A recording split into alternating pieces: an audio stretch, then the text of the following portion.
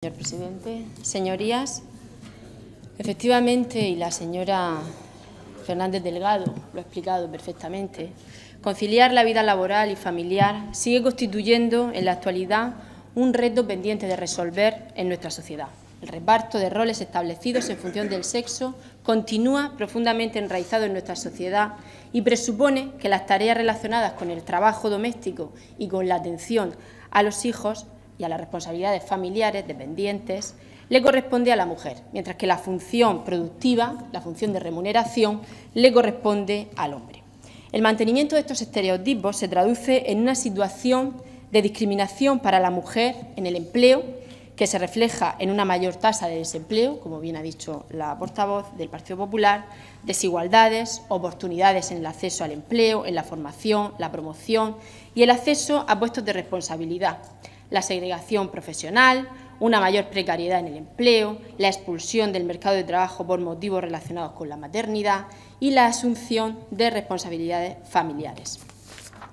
Conciliar la vida familiar y profesional se percibe generalmente como un problema de las mujeres, porque son ellas quienes padecen las graves consecuencias del mismo, cuando en realidad se trata de un conflicto de carácter social cuya solución depende o debería depender de la sociedad en su conjunto.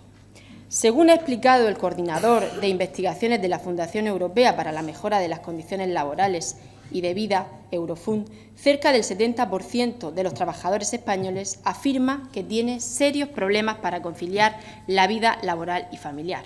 En base a los resultados de los últimos estudios de la institución acerca de los programas de apoyo a la parentalidad en la Unión Europea, el cuidado a los menores dependientes y el sector de la atención a domicilio. De hecho, España está bastante lejos de otros países europeos. Solamente Letonia, Grecia y Chipre están detrás de España en materia de conciliación de la vida laboral y familiar.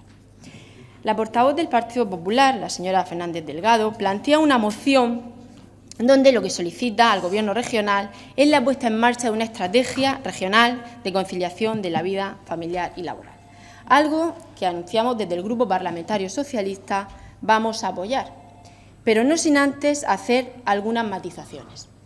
Efectivamente, y luego lo ha dicho en su exposición, aunque en la exposición de motivos de la iniciativa hace referencia a la dificultad que en algunos casos se pueden plantear en algunas familias para conciliar la vida laboral y familiar, por lo que se ven abocadas a renunciar a la maternidad, en el caso de las mujeres, eso es cierto y, desgraciadamente, es una realidad que a día de hoy afecta y sigue afectando a muchas mujeres. Y digo a mujeres porque en la gran mayoría de los casos son las mujeres las que tienen que renunciar a trabajar.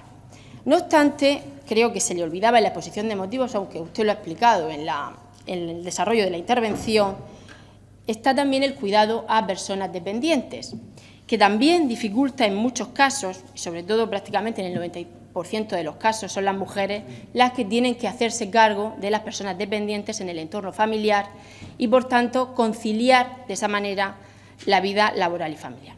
Resulta, si usted me permite, que se lo diga un poco paradójico, que el Partido Popular traiga aquí esta iniciativa cuando ustedes han sido los primeros que, en cuanto han llegado al Gobierno de la Nación, han atacado una ley que estaba siendo muy beneficiosa para conciliar la vida laboral y familiar de muchas mujeres de esta región. Y saben ustedes a qué ley me refiero, que es a la ley de dependencia.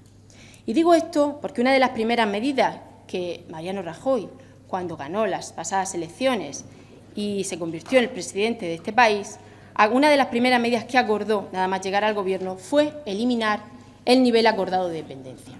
Esto es, el dinero que el Gobierno central transfería a las comunidades autónomas anualmente para hacer frente fundamentalmente a inversiones e infraestructuras en esta materia.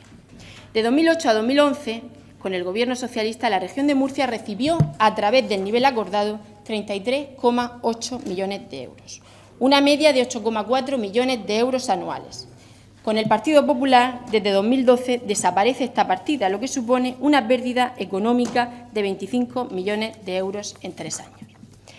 Además, los requisitos hace muy difícil que las mujeres, en este caso, puedan acceder a la ayuda económica en el entorno familiar y no hay alternativa de servicios.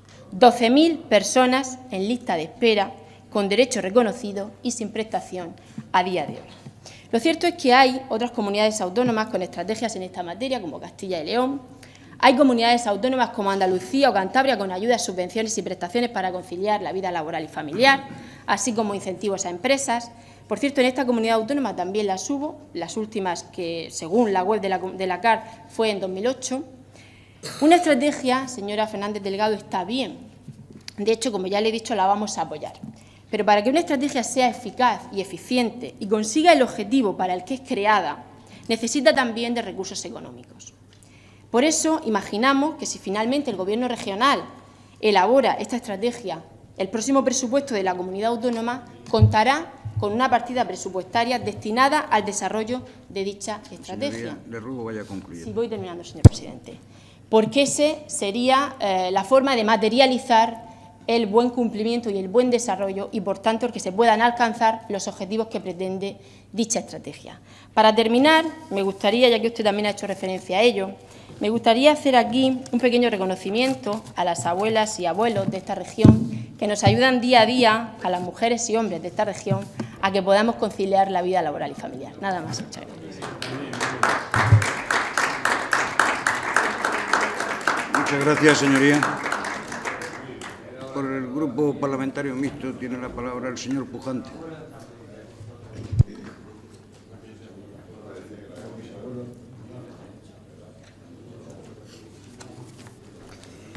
Buenos días, señorías.